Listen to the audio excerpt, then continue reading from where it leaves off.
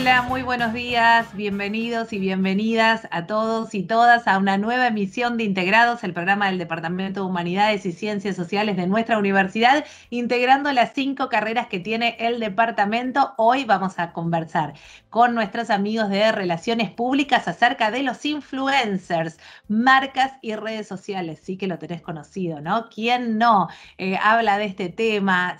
Tiene sus propios eh, influencers a los que sigue, en los que confía, en los que no, cómo tratan las marcas a este tema. Bueno, vamos a estar hablando de todo esto con ellos que saben. En un ratito te voy a estar presentando a nuestros invitados. Mientras tanto, te cuento que en esta temporada número 12 de Integrados y que nos eh, tanto placer nos da hacer este programa, te vamos a acompañar hasta las 10 de la mañana por el aire de la radio de la universidad, FM 89.1. En cualquier parte del mundo donde estés, www www.fm891.com.ar y si no, después nos buscas en nuestro canal de YouTube como Conversaciones Integradas UNLAM y allí, como a mí me gusta decir, tenés on demand todo el contenido, no solo de este ciclo 2023, sino de los anteriores, para que lo escuches, busques temáticas de tu interés cuantas veces quieras y en el momento que vos quieras. ¿eh? Como siempre, recordá que en la versión audiovisual conoces a nuestros invitados y tenés acceso a todos materiales eh, para que puedas profundizar en la temática si es que así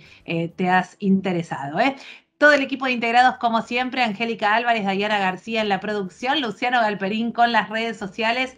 Maximiliano Brandoli en la edición y puesta al aire. Mi nombre es Florencia Romano. Hasta las 10 de la mañana en el aire de la radio de la universidad. Muchísimas gracias, como siempre, a todo el Departamento de Humanidades y Ciencias Sociales de la UNLAM y a la Escuela de Artes y Medios de Comunicación que hace posible que estemos hace ya 12 años con vos al frente de este programa. Ahora sí, vamos a presentar a nuestros invitados, si les parece, como siempre, y cada vez que hablamos de relaciones públicas, estamos eh, con ella, con Melody Galante, que es la, Galanti, perdón, que es la coordinadora eh, de mm, la carrera en nuestra universidad, licenciada en Relaciones Públicas, eh, y obviamente es un placer para nosotros que estés como siempre, Melody, bienvenida. Hola Florencia, ¿cómo estás? Hola a todos. Qué gusto siempre encontrarnos en este programa y hoy con un tema interesantísimo y de súper actualidad también, así que muchas gracias por la invitación. Por favor, Melody, gracias. Un placer, como siempre, recibirte. Desde también nuestra universidad recibimos hoy a Gerardo Nigro, licenciado en Relaciones Públicas y docente en las asignaturas Relaciones Públicas 1 y Taller de Práctica 2 de la licenciatura en Relaciones Públicas. Fue socio fundador de la agencia Melón Comunicaciones y actualmente es asociado en la agencia de Relaciones Públicas Gajo y se desempeña como consultor en comunicación. Gerardo, un placer recibirte. Muy buenos días. Hola, buenos días. Eh, buenos días a todos y bueno, muchas gracias también por, invitarme y apresto a hablar un poquito del tema.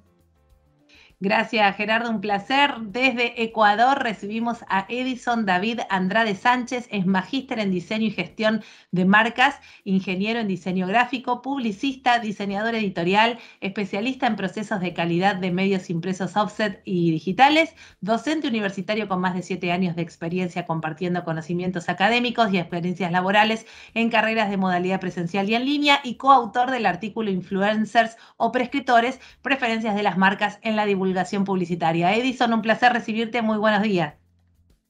¿Qué tal? Muy buenos días con todos. Gracias por la invitación. Gracias por permitir eh, compartir ciertos conocimientos y también puedes entrar en un diálogo sobre las nuevas tendencias en comunicación y publicidad. Pues, ¿no? Gracias por la invitación.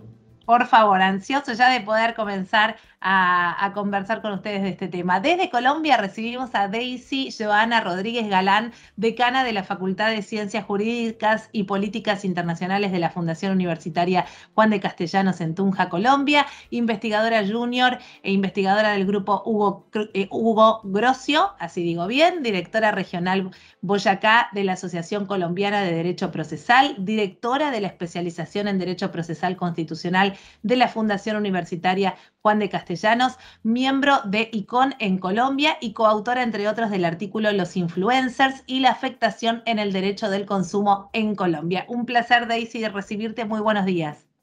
Muy buenos días, Florencia. Un saludo también a todos los panelistas. Para mí es un honor poder compartir el conocimiento desde una óptica del derecho. Gracias. Y desde Colombia también recibimos a Andrea Carolina Hernández Medina, docente de la Facultad de Ciencias Jurídicas y Políticas Internacionales de la Fundación Universitaria Juan de Castellanos. Es coordinadora de la Liga del Consumidor, coordinadora del área del Derecho Internacional, tutora del Semillero Derecho Comercial José Efren Osa y miembro del Grupo de Investigación, Globalización y Derecho Hugo Grocio y coautora de diversos artículos, entre ellos Los influencers y la afectación en el derecho del consumo de Colombia. Un placer recibirte, Andrea, bienvenida. Hola Florencia, buenos días, muy buenos días para todos los panelistas, para todos los oyentes y para todos los miembros de la universidad que se conectan y están con nosotros a esta hora.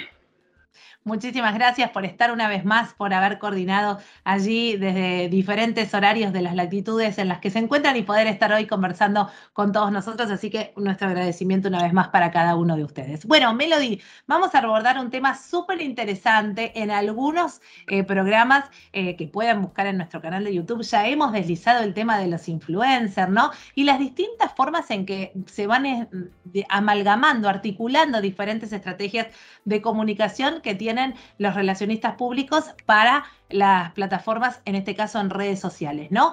¿Cómo se elige un influencer? ¿Qué es lo que se destaca al elegir cada uno para una marca? Eh, ¿Qué es lo que prima al momento de su elección? ¿Cómo beneficia eh, a cada una de, las organizaciones eh, el trabajar con estos influencers, cómo cada uno encuadra en un nicho de consumo diferente, ¿no? ¿Cuáles son los perfiles adecuados y cómo hablamos de los riesgos eh, de la parte del derecho, como bien decían algunos de nuestros invitados. Eh, ¿Qué sucede después, no? Eh, con las recomendaciones, con lo que nos hacemos cargo de poder recomendar o no hacia un tercero, sobre todo en temas a veces tan importantes como son temas médicos, de salud, de alimentación. Bueno, me parece que se van a hablar, Melody, un montón de temas y se abren múltiples ventanas. Sí, la verdad que, Florencia, como bien mencionabas, es un tema que abre tantas puertas, ¿no? Porque hoy se, está tan de moda o tan en boga esto, digo, hasta hay encuestas eh, a adolescentes que plantean que su objetivo número uno o su carrera a la que quisieran dedicarse es ser influencer. O sea, hoy apareció hasta como una categoría de trabajo, digo, sobre todo porque en, en las redes sociales también se lo muestra como un mundo maravilloso donde uno vive de canje, donde uno puede ganar muchísimo dinero entonces, hasta es un nicho que a un montón de gente le interesaría desarrollarse y también para las empresas es súper atractivo. Empresas y también el Estado, ¿no? Las instituciones públicas también requieren eh, de, campañas de comunicación y muchas veces cuando son de concientización y demás, tener a un influencer que te pueda ayudar a hacer llegar el mensaje al público que vos querés también es súper útil. Pero digo, hace algunos años recuerdo eh, todos conocen el formato de Gran Hermano. Recuerdo hace muchos años estando acá en la universidad, había venido el productor general em, a contar cómo había sido la experiencia. Además, yo era estudiante todavía y, me acuerdo que él preguntaba qué es lo que vende eh, la televisión, qué es lo que vendemos nosotros. Y, todos, bueno, noticias, contenido. Y, y él en un momento dijo, en realidad los vendemos a ustedes, ¿no? Y de alguna manera, digo, hoy los influencers quizás recrearon esa misma lógica que tenía la televisión, el, crear contenido para atraer a la gente y crear contenido diferente para atraer públicos distintos, para poder vender publicidad. Hoy eso se traduce quizás a través de una persona que lo puede gestionar unipersonalmente en sus redes sociales y con el surgimiento también de cada día nuevas redes sociales, porque parece que eh, digo, no nos alcanza la cantidad que tenemos. Que Ahora tenemos una muy, muy nuevita que ya... Claro, por eso digo, o sea, todo el tiempo va surgiendo incluso una red donde las empresas también quieren estar, donde los que están primeros son los que tienen esta ventaja de, bueno, yo fui pionero en estar en TikTok, yo fui, digo, hoy eh, hay influencers en TikTok que tienen millones de millones de reproducciones y que son niños que muestran juguetes eh, para que, y, otros nenes los ven y les interesa lo que, el producto que ellos tienen. Digo, hoy es un mercado enorme, pero como vos decías, también hay muchísima dificultad con la regulación porque precisamente Internet es un mundo eh, cero regulado y todo lo que se dice en Internet eh, es, es, bastante laxo, ¿no? Con respecto a esto de los límites, sobre todo cuando se recomiendan, una cosa es recomendar una lapicera y otra cosa es recomendar una dieta, un, remedio, un suplemento dietario, eh, ejercicios, digo, cosas que nos pueden dañar, teniendo en cuenta que hoy en las redes sociales también hay presencia de menores y demás, así que es un tema súper, súper complejo, pero sin dudas una gran estrategia que podemos utilizar desde las empresas, desde lo corporativo y como decía también desde el Estado, para poder llegar a públicos bien específicos porque claramente eh, los, influencers tienen muy bien segmentados sus públicos, claro. donde podemos ir a comprar, digamos, eh, la, visión de ellos, por lo menos que vean nuestro producto, ¿no? Totalmente, muy interesante esto que, ya empezamos a, desandar, Melody, y además pensaba, ¿no? En esto de la cuán internacional y cómo se expande más allá de las fronteras de un país el influencer, porque eh, me pasa con muchos eh, o eh, con, diálogos que uno escucha, ah, sí, yo lo sigo, y a, mí me, lo, pero no es de acá, pero sin embargo lo seguís, entonces también este fenómeno de, cruzar fronteras a través de las redes sociales es muy interesante. Empezamos a plantear el tema, ¿eh? Andrea Hernández, te escuchamos. Sí, precisamente respecto a lo que dice Melody, para nosotros desde Colombia es un caso impresionante ver no solamente el ascenso de los influencers, porque es un tema pues que ya se ha tocado hasta el cansancio, creo yo, sino la transformación que han tenido también los influencers. Aquí hacia el año 2020, es decir, hace unos tres años, teníamos un top 10 de influencers muy fuertes en Colombia, que eran influencers que se movían en ese entonces en YouTube y son influencers, eh, por ejemplo, los primeros cinco que ya no se dedican a YouTube están migraron a otras plataformas como TikTok y que en su época alcanzaban a ganar 200 mil dólares por campaña. Y que están compitiendo todo el tiempo y, empieza también una cosa muy interesante en este mundo de la contratación de los influencers y también de un mundo desde lo jurídico muy interesante que es el derecho de la competencia eh, a convertirse en eso, a tener que transnacionalizar el tema de los influenciadores a saber que hay, y creo que en Latinoamérica lo conocemos todos, los influenciadores más poderosos eh, siguen estando en México y migraron de manera exitosa a otro tipo de empresas, eh, a otro tipo, perdón, de plataformas.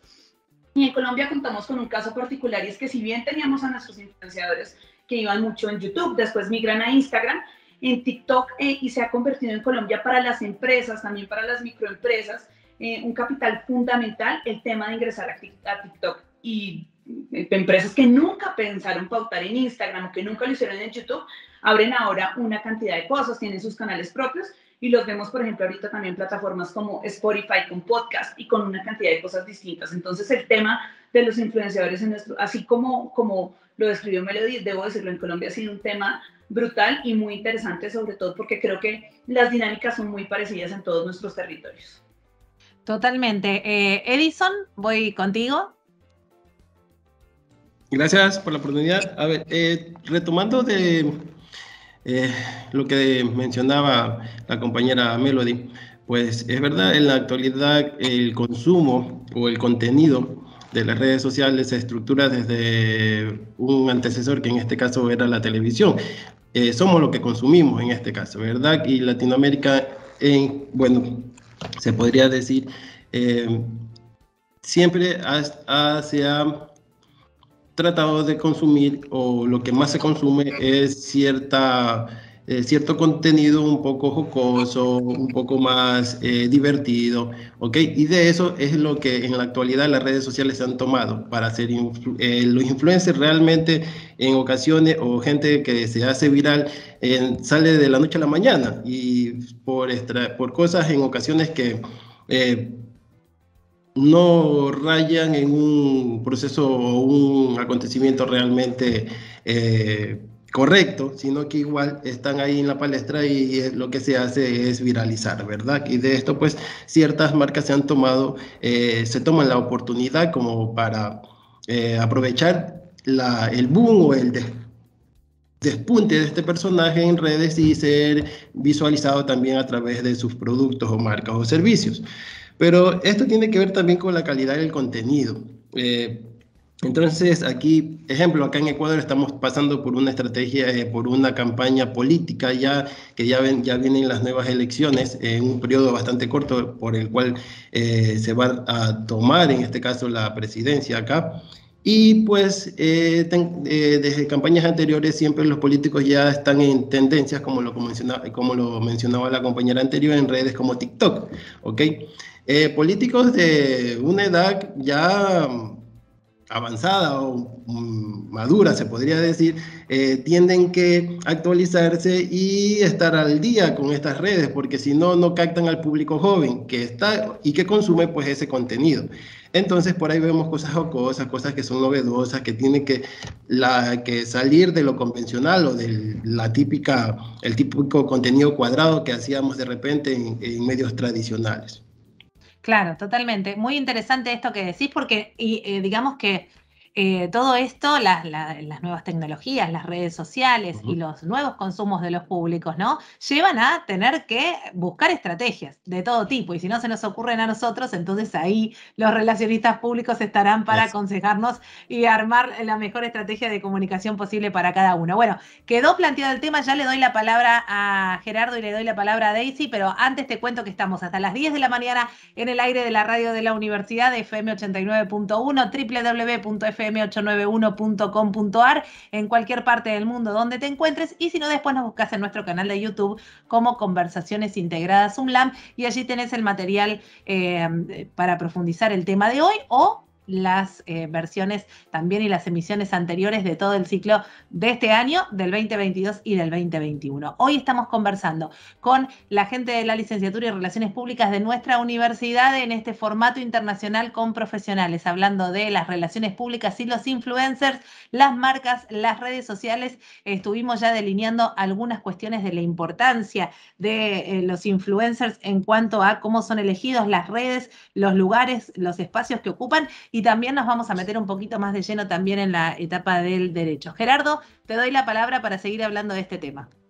Sí, principalmente tomar el punto de lo que hablaban, un poco del tema del contenido, eh, porque nosotros vemos hoy también, nosotros estamos en un año electoral y vemos algunas algunos candidatos eh, saliendo de su espacio natural y virando a redes, pero ese mensaje antinatural en líneas generales cosecha más un consumo irónico, por así decirlo, eh, que algo que capte al público o a los públicos.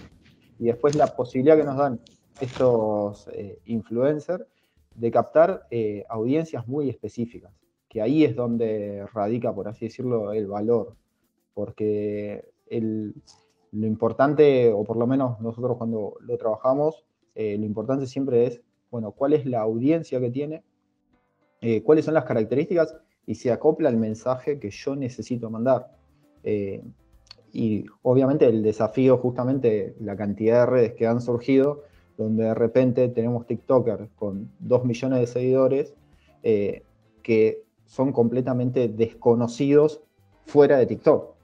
Entonces ahí también es, va la, inteligencia, el, armado estratégico y, y obviamente el objetivo que nosotros tengamos de, de lo que querramos comunicar.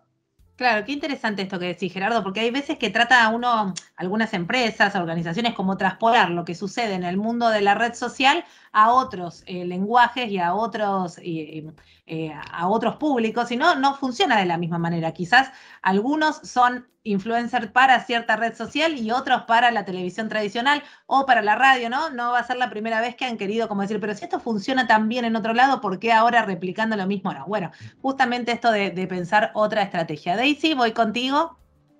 Eh, gracias.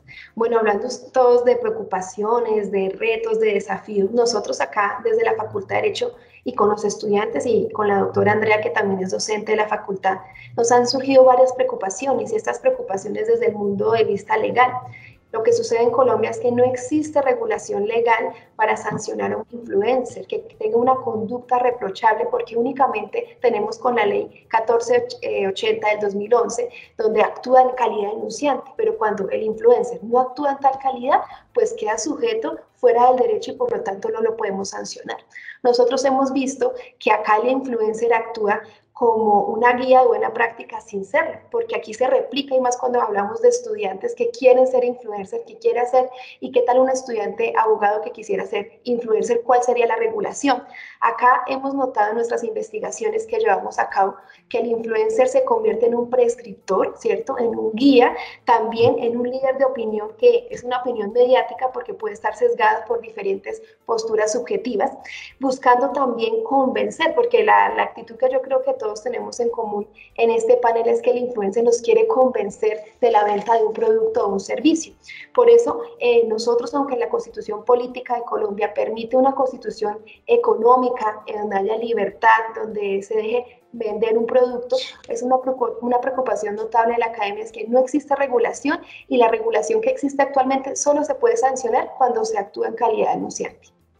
Claro, qué interesante esto, Daisy, y, preguntarles también a ustedes, eh, por ejemplo, Edison, si en, allí en Ecuador pasa lo mismo, no, no puede ser penado o no puede ser denunciado un influencer eh, que recomendó algún producto o demás, y cuál es la responsabilidad, ¿no? Que para ustedes realmente atañe detrás de, estar en un influencer recomendando quizás un producto de belleza, recomendando un eh, suplemento dietario, ¿no? Eh, ¿cuál, ¿Cuál es la responsabilidad que debe haber más allá además de lo legal desde la empresa que decide contratar tal persona para que hable en representación de su marca? Bueno, debemos entender eh, ¿Sí me escuchan? Hola. Sí, perfecto. Eh, debemos entender en este caso que la publicidad es parte de la comunicación y por ende está dentro de la ley orgánica de comunicación regulada. Y, en esta pues también tiene sus penalidades, pero eh, lamentablemente, como lo mencionaba nuestra compañera Daisy, eh, las, en redes sociales hay muy poca regulación, todavía no se llega a regular completamente y de hecho hay, eh, son, esas son, son, bueno, son, serían medidas o procesos que se deben de tomar en consideración para, porque la comunicación hoy en día es casi, casi que digital netamente. Y tomando un, un, punto bastante importante que también mencionó la compañera Daisy, es que nosotros, bueno, eh, debemos saber, en este caso, los publicistas, diferenciar entre lo que es un prescriptor y un, y un influencer. Porque, como les digo, los influencers en ocasiones nacen de la noche a la mañana y son seguidores, pero el hecho de que tengan una, un gran sinnúmero de, de seguidores no son influencers, no, o sea, no influyen en la decisión de compra o en la decisión de adquisición de algún producto pero en cambio los prescriptores sí lo, sí lo hacen. Eh, teniendo en consideración el método antiguo de publicidad desde los medios tradicionales, o sea, uno, eh, un publicista pautaba con una celebridad, en ocasiones, ejemplo, un, por, por decir un ejemplo, un famoso o un reconocido eh, médico, ¿ok? Y pues con él se pautaba ciertas, ciertos actos publicitarios donde él mencionaba y, y, todo, pero era una persona que sabía y y sabía el contenido del producto, entendía lo que era y pues y él bajo su se puede decir incluso bajo su Sí, bajo su responsabilidad. Su responsabilidad, gracias por ese detalle. Bajo su responsabilidad, pues mencionaba o prescribía, ¿no? Esto. Pero hoy en día eh, las marcas de forma irresponsable en ocasiones, tomando en conciencia, eh, tomando o aprovechándose de la, de la fama entre comillas, de, de alguna persona, eh, quieren pautar o hacen eh, eh, menciones en base a eso, ¿no? Y sus marcas están ahí, pero esta persona a la final no entiende ni sabe cuál es el impacto del producto o qué puede llegar a, causar positivo de manera o manera negativa. Ese es el gran detalle entre un prescriptor y un influencer de hoy en día. Entonces, sí debemos tratar los publicistas, los comunicadores, los relacionistas públicos, en el momento de generar campañas, encontrar personas que eh, estén a la vanguardia, sí, pero también entiendan el alcance del producto, ¿verdad? ¿Qué es lo que puede hacer y cómo lo hace?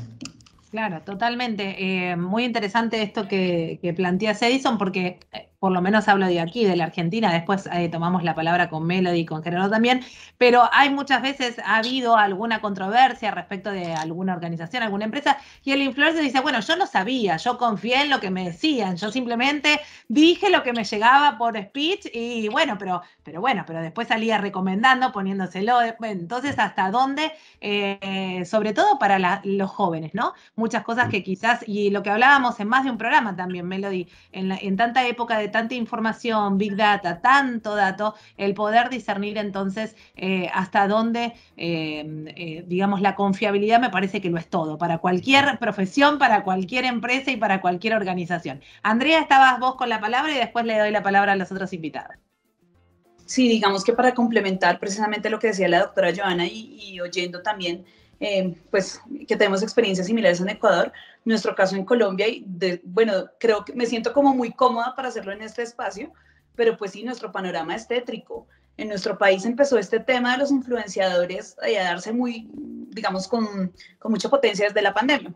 Y lo que hizo, eh, digamos, nuestra entidad que se encarga de todo el tema de la protección del consumidor, en nuestro caso se llama la Superintendencia de Industria y Comercio, es como lo mencionaba la decana, crear una guía de buenas prácticas. Pero una guía de buenas prácticas jurídicamente, pues vamos a hablarlo en términos reales. Esto no, esto es un saludo a la bandera que dejó sobre todo eh, pues expuestos a los consumidores a que sigan pasando las cosas que pasan. En la guía le decían, señor influenciador, y, y y sé muy bien que hay muchos países donde pasa lo mismo. Señor influenciador, le recomendamos poner hashtag publicidad cuando a usted le estén pagando por hacer una publicidad. Pero eso es un saludo a la bandera porque no tiene la obligatoriedad, por ejemplo, como la tiene la ley en España, donde se obliga a que si a usted le están pagando por una pauta, usted especifique que está haciendo una publicidad. Esto queda, digamos, entonces deliberado para que el influenciador lo haga o no lo haga, lo tome o no lo tome. Nuestro caso acá en Colombia es tan complicado eh, y es que tenemos una ley que es una ley buena, pero no sirve para esta figura, como bien lo denunciaba eh, la decana, y es específicamente la ley 1480, donde, nos dice solo va a quedar el anunciante.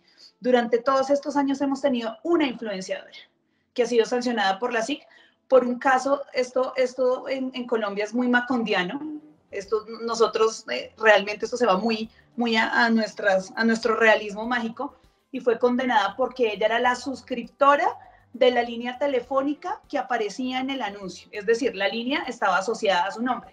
El resto de los influencers dicen específicamente eso. No, a mí me dan un libreto, yo manifiesto eso y por eso me pagan X cantidad de dinero. Entonces tenemos un problema muy complejo en nuestro país porque eh, finalmente pues no, yo en lo personal no veo voluntad legislativa, no veo, aquí nos dicen tienen la ley 1480 que es la de protección al consumidor, y tenemos una ley de comercio electrónico del año 1999. Fuimos pioneros en temas de ley de comercio electrónico, eh, la ley 527 de 1999, pero esa es una ley técnica.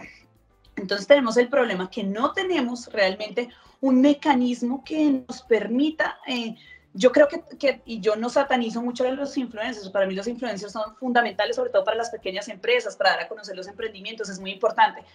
Pero el tema es que hemos luchado en lo personal, lo digo yo porque yo soy una convencida en el tema de los derechos del consumidor, durante tantos años para que ahora se nos complique mucho más el tema de la defensa de los derechos, eh, sobre todo de públicos tan importantes como los que hablaba Melody, los jóvenes, los niños, el tema, el tema de los suplementos alimentarios, el tema de los productos para el cuidado corporal y quedan completamente libres. Y el caso, el único, y pues se los cuento de una vez, fue de una, es de una modelo que vendía unas pruebas supuestamente que detectaban el COVID de manera inmediata, cuando eso era, en ese entonces estaba prohibido en Colombia la comercialización de esas pruebas. Además, daban, daba eh, lo, que sabemos, ¿no? Confiabilidad 100%, es que yo supe así quiénes tenían COVID, o sea, una cantidad de cosas que van por fuera y que la gente, por ese poder que tiene el influenciador, el influenciador es un influyente, el influenciador no sirve como ese pepe grillo para decirnos, haga esto, no haga lo otro. Entonces, sí, digamos que no queremos decir que estamos indefensos, pero sí, sí nuestras leyes se quedan cortas para la defensa de los derechos de los consumidores. Totalmente, Andrea, eh, coincidimos en cada uno de los puntos que vas planteando. Eh, Melody, voy contigo. Sí, justo estaba pensando antes que empezara a hablar Andrea y me acordaba del programa anterior que tuvimos, que hablamos de las relaciones públicas y la salud, y hablábamos del rol ¿no? de los influencers en la salud y justo teníamos una de las panelistas que era española y nos contaba esto, ¿no? De la ley que habían sacado, llamada por ellos Ley de Influencers, que regulaba la práctica, pero que más allá, digo, porque si no parece como que estamos demonizando eh, un poco, coincido con Andrea, son súper eh, importantes, digo, los influencers hoy por hoy para el negocio, pero creo que también era interesante la idea de que a ellos también se les diera una protección, porque digo, al estar regulado de alguna manera, acá las chicas, digo que, saben más de derecho seguramente lo van a poder decir, pero digo, al estar regulada una práctica, no solo proteges, digamos, al consumidor, sino también al que ejerce esa publicidad, porque un poco lo que planteaba Edison, esto de, bueno, los prescriptores. Eh, no era lo mismo un odontólogo que te decía 8 de cada 10 odontólogos eligen tal eh, pasta digo, para lavarse los dientes, que era una persona especializada en la temática, por lo tanto ponía su matrícula, digo, había eh, una responsabilidad y también una protección para esa persona porque se hacía en el marco de una publicidad que salía en la tele con todas las normas que eso implicaba. Hoy por hoy también muchas veces estos jóvenes que quizás empiezan en redes sociales y en pos de eh, obtener eh, ganancias obviamente y también tener bueno, estos canjes o, mejorar su trabajo y la influencia que tienen, empiezan a, tomar a cualquier empresa. Y a veces, digo, no, no tienen la posibilidad de comprobar si aquello que se promete con respecto al producto, estoy pensando en todo lo que está surgiendo ahora con las apuestas online y demás, que, que supuestamente todos te pagan y está todo perfecto, digo, pero ¿cuántas veces empieza esto como una estafa y después la persona que es la que queda marcada? Y también pensando un poco en las empresas al momento de elegir a una persona, cómo lo, de alguna manera, eh, a veces parecería para las empresas como, bueno, contarle que la persona tenga muchos seguidores ya es suficiente. Va a influir, va a llegar, mi producto se va a vender y muchas veces gastan en pagarle a un influencer que tiene muchísima gente por hacer algo masivo, cuando en realidad quizás necesitarían algo mucho más chico eh, digo, en la cantidad, en el volumen de, la cantidad a la que llega, que sea bien específico, adaptado al público que esa persona tiene y que también algo no menor, que también vaya con los valores de la empresa. Porque en algún punto la persona que va a hablar por vos, que va a recomendar tu producto, también es por un momento la cara visible de tu empresa.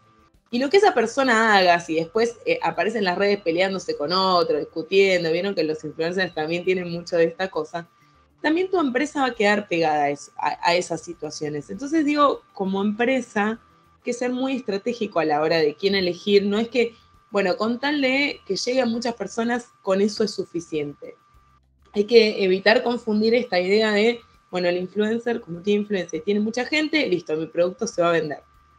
No es tan mágico el, el pensamiento. Totalmente. Bueno, seguimos ya charlando. En un minutito le doy la palabra a Gerardo y a Daisy, pero antes te cuento que estamos hasta las 10 de la mañana en el aire de la radio de la universidad www.fm891.com.ar y después en nuestro canal de YouTube nos buscas como Conversaciones Integradas UNLAM. Nuestras redes, Facebook, Instagram y Twitter, ya que estamos hablando de redes sociales, arroba integrados RU. Y te cuento, a vos también que estás del otro lado, que sos profesional y que también estás mirando eh, nuestro programa o escuchándolo a través de la radio, que el departamento tiene su revista de investigación cuya convocatoria para materiales se encuentra abierta de manera permanente. www.riumso con H entre la I y la U.edu.ar, allí podés enterarte de todo eh, lo que necesitas para hacer llegar tus artículos. ¿eh? Em, dicho todo esto, estamos charlando hoy con la gente de la licenciatura en Relaciones Públicas sobre los influencers como bien tratamos acá, han salido muchos temas, influencer, prescriptores, derecho, eh, protección, no solo para el consumidor, sino también para el, influencer que hace en este caso la publicidad. Esto último que decía Melody también, los valores, ¿no? Que se identifiquen los influencers que elegís para tu marca con los valores de tu organización o de tu empresa. Eh, y también la parte eh, académica, como siempre decimos, ¿no? El poder ir buscando como futuros relacionistas públicos la mejor estrategia para tu organización y también en eso irá la selección de, del influencer o de la persona que consideres adecuada. Eh, Gerardo, te doy la palabra para continuar charlando de este tema. Sí, tomo un poco lo que dijo Melody también. Eh, hoy por hoy, por lo menos en el mercado argentino, eh, está muy desarrollado el, tema de la elección y el scouting de, de, los influencers, donde vos no solo ya buscas el tipo de audiencia, sino que los mensajes que maneje eh, la persona, por lo menos las grandes marcas, eh, están buscando que esos mensajes eh, sean acorde al mensaje de marca que yo quiero mandar. Es decir, el influencer efectivamente me representa. lo que hace es lo que hace la empresa en cierto punto. Y de hecho, cuando el influencer entra en un proceso, como se dice usualmente en redes de cancelación, los usuarios enseguida lo que le piden a las marcas es eh, ustedes le siguen pagando o a ustedes los representa este, esta persona. Y algo más también que me parece súper interesante, eh, nosotros estamos eh, con, primero, montones ya de personas que podríamos llamar influencers solo por el hecho de tener muchos seguidores. Pero realmente, por lo menos el número que con mayor valor nosotros estamos viendo, y acá saliéndonos del derecho y pensando más en estrategias de comunicación, es qué engagement tiene. Porque vos podés tener un millón, dos millones de seguidores, y la realidad es que tu contenido lo puede ver muy poca gente o, puedes, o puede tener ascendencia o influencia justamente en muy poca gente. Y esto es algo Gerardo, si tenemos que traducir al que no es del ámbito de las relaciones públicas, esto último que acabas de explicar, ¿cómo lo explicamos? No tiene que ver con el número de seguidores solamente, sino con... Con la cantidad de personas que efectivamente me ven. Yo puedo tener un millón de seguidores, pero mis publicaciones, mis historias, mi contenido a nivel general, lo puede ver muchas veces el 3% de ese millón de seguidores, eh, lo cual el alcance es mucho más bajo de lo que se cree. Por eso nosotros por lo menos cuando pensamos alguna acción, primero pensamos bien qué es lo que queremos, conseguir más tráfico web, generar más conocimiento de marca, conseguir más eh, ventas, etc. Y medir con respecto a el engagement real, eh, a lo que, al alcance real que tenga, saliendo ya de visualizaciones o impresiones, que es el número grande que se suele mostrar en redes sociales, pero que por lo menos desde nuestra óptica no es el número de valor eh, o de mayor valor que nosotros eh, vemos al momento de analizar si avanzamos con alguna campaña con tal o cual perfil social. Clarísimo, clarísimo. Daisy, voy contigo. Eh, gracias. Bueno, yo quiero también eh, eh, acotar que no solamente nuestra preocupación de la falta de regulación es a nivel de castigo, de conducta reprochable del influencer, sino por supuesto también que puede ser protegido, ¿no? También un catálogo de principios, de deberes, de derecho, de bioproceso nuestra Corte Constitucional en Colombia siempre ha protegido eh, la libertad de expresión, la libertad en los medios de comunicación y buscar en este momento en que haya una guía de buenas prácticas, como lo indicamos, no es suficiente. Necesitamos una regulación sólida que también castigue al culpable, pero también se proteja esa libertad de expresión, esa libertad de expresión en Internet, en las redes sociales, entre otros. Nosotros en Colombia hemos estudiado a través de la investigación que hemos hecho, pues que cómo se puede sancionar a través de un título extracontractual, porque muchas veces no podemos eh, ostentar la calidad de denunciante o de medio de comunicación. Aquí es muy importante también mencionar que nuestra Carta Política, la Constitución, nos menciona que también tenemos que eh, prestar un servicio de calidad de bienes y servicios. Por eso también es muy importante que el público también haga parte de esta conducta que puede ser reprochable o no para garantizar esta libertad de comunicación. Bien, clarísimo. Edison, voy contigo. Gracias. Eh, bueno, retomando un punto, un punto bastante importante que mencionó Andrea, y de hecho, pues pasa aquí en Ecuador también. Eh, lamentablemente eh, hay un bajo nivel de cultura de denuncia en, temas como estos, debido a la tramitología del proceso. Entonces, eh, esto genera un gran problema porque la gente se ve vulnerada, en este caso, sus derechos o engañada y pues de eso pues no pasa a mayores realmente. Entonces eh, hay que cambiar también un factor bastante importante, que es en este caso la tramitología del proceso, para tener algún tipo de, de, de, cobertura, se podría decir. Y también pues yo no satanizo en este caso a los influencers, porque los influencers son importantes para un sistema de comunicación en la actualidad. De hecho, eh, quien no se publicita no se conoce. Así de sencillo, producto, negocio, servicio que no hace publicidad lamentablemente tiende a desaparecer con el tiempo porque nadie lo va a conocer. Eh, y algo que también mencionaba Gerardo es importante, que en este caso es el impacto. El hecho que yo tenga un o quiera pautar con un influencer que tiene bastantes seguidores, en este caso, pero no todos son de calidad o realmente lo van a ver o mi producto se va a ver eh, eh, percibidos por ellos. Entonces, eso también tiene un, tiene un detalle a tener en consideración, sumado a otro punto bastante importante que es la responsabilidad social. Eh, ¿Qué viene detrás de todo esto?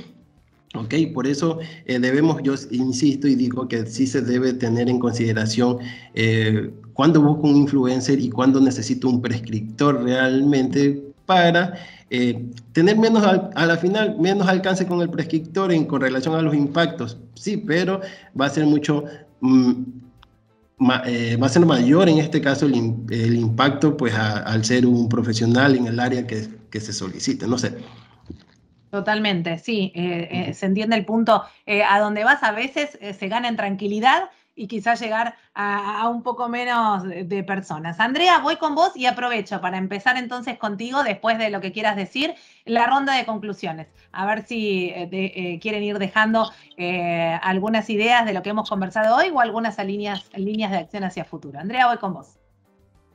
Bueno, eh, gracias Florencia. Después de haber, de, haber, hablado, digamos, como de este tema que tiene muchos o que podemos prever como cosas negativas, yo quiero traerles a ustedes y también a los estudiantes de la universidad, sobre todo porque me encanta la carrera en la que estamos hablando, un emprendimiento en Colombia que ya no es un emprendimiento, es una gran empresa y se logró gracias al tema de eh, pues de todo, de los influencers, pero porque los mismos microempresarios se volvieron influencers. Es el caso de, una, de unos chicos que tienen una marca de accesorios que se llama Sahu, la pueden buscar además en todas las redes sociales, S-A-J-U.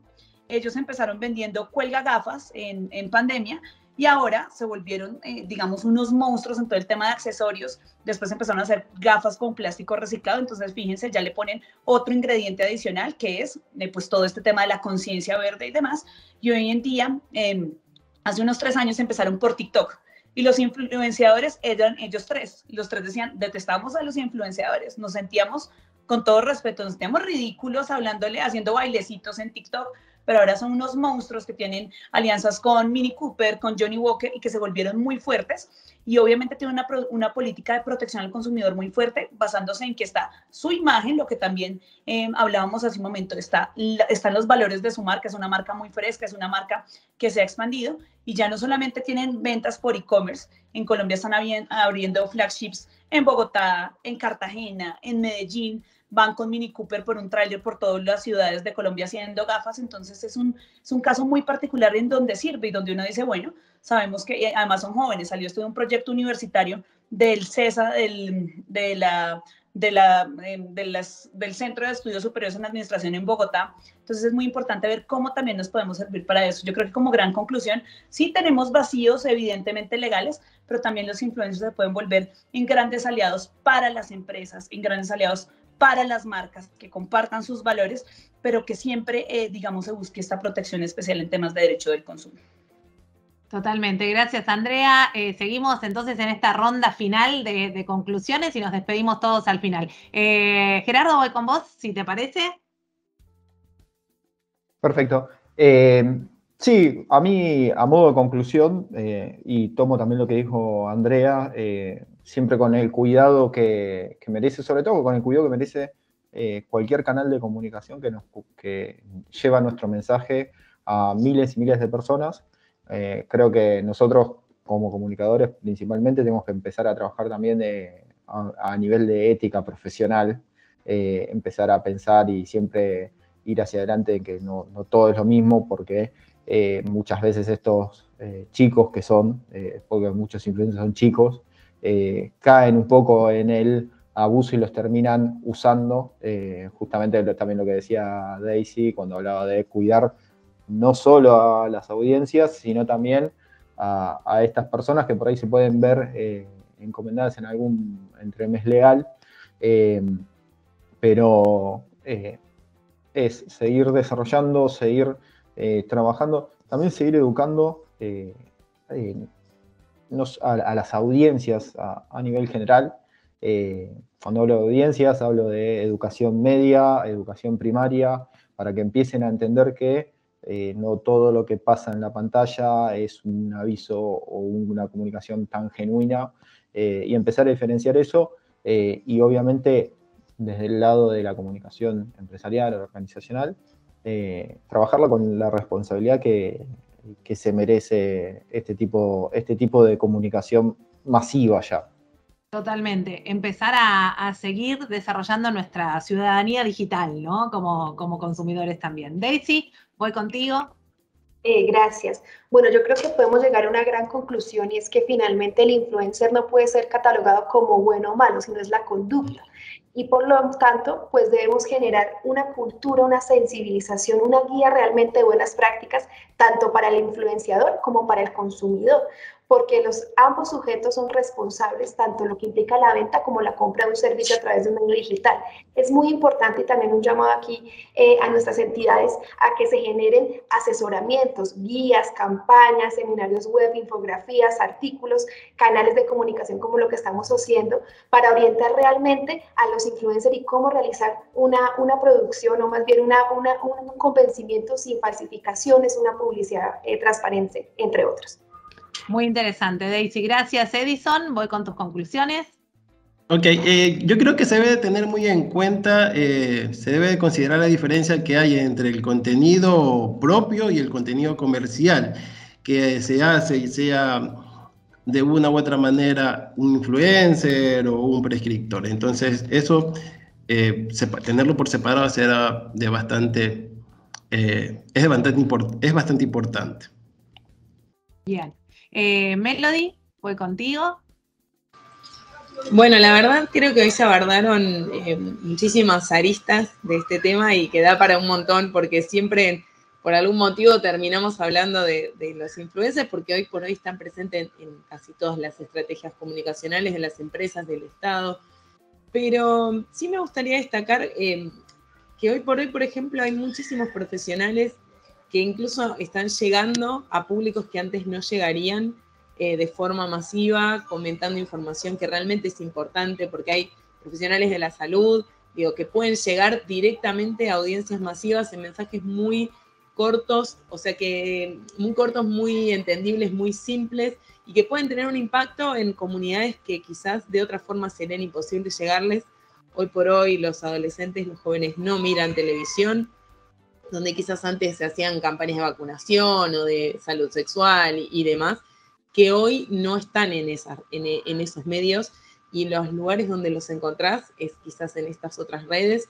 Por lo tanto, yo no desestimo la importancia que tienen los influencers y, por supuesto desde lo comercial, eh, sin dudas que son una estrategia o un elemento vital, siempre y cuando sean bien elegidos, eh, como hemos mencionado hoy, teniendo en cuenta los valores que tienen, el público al que están dirigidos, realmente cuántas personas son los que lo siguen y la responsabilidad con la que trabajan también, porque hay muchísima gente, hay que decirlo, y más allá de que no existe una regulación, también trabaja con muchísima, eh, muchísima compromiso, muchísima ética en los productos que toman y no, no venden cualquier cosa en pos de vender algo, sino que realmente quizás hacen recomendaciones que, que están basadas en esto, ¿no? En la experiencia personal, en la ética también, en el uso de, de esos productos y eligen no recomendar cosas que podrían ser quizás dañinas para, para la salud. Así que hay, que hay que decir todo y hay que analizar cada una de estas diferentes aristas, pero sin dudas es un tema importantísimo para los futuros profesionales de las relaciones públicas. Totalmente, Melody. Y esto último que decís, ¿no? Como siempre, desde nuestra visión académica, el futuro relacionista público allí está para asesorar entonces a las organizaciones, a las marcas, para estas elecciones de las que estuvimos hablando, para estas diferenciaciones entre contenidos propios y contenidos eh, de marcas que nombraba Edison y sobre todo para también asesorarlo en las cuestiones legales, eh, en, sus derechos y en este trabajo multidisciplinar que bregamos siempre que, debemos tener todos los profesionales de, de hoy en día. Me encantó el programa de hoy, pasó volando el tiempo porque realmente lo, hemos disfrutado mucho y hemos dado muchísimas ideas, sobre todo ustedes que han estado ahí del otro lado con su palabra de expertos. Así que muchísimas gracias Daisy, Joana Rodríguez, muchísimas gracias Andrea Hernández, Edison Andrade, Gerardo Nidro y nuestra querida Melody Galanti. Muchísimas gracias a todos. ¿eh? Eh, como siempre, a todo el equipo de integrados, Angélica Álvarez y Dayana García en la producción, Luciano Galperín con las redes sociales, Maximiliano Brandoli en la edición y puesta al aire. Gracias a todo el Departamento de Humanidades y Ciencias Sociales de la Universidad y a la Escuela de Artes y medios de comunicación que hace posible que estemos hace 12 años con ustedes. Mi nombre es Florencia Romano, nos volvemos a encontrar el próximo domingo bien tempranos o por otro eh, conversaciones integradas a través de YouTube. Chao, buena vida para todos, gracias.